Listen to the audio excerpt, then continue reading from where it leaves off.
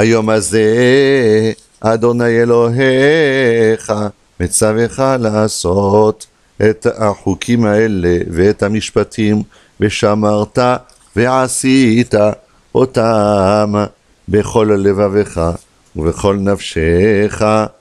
את אדוני אמרת היום להיות לך לאלוהים וללכת בדרכיו ולשמור חוקיו ומצוותיו ומשפטיו וישמוע בקולו ואדוני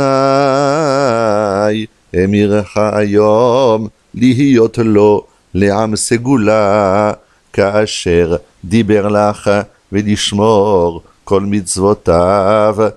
ולתתך עליון על כל הגויים אשר עשה לתהילה ולשם ולתפארת ולהיותך עם קדוש לאדוני אלוהיך כאשר דיבר.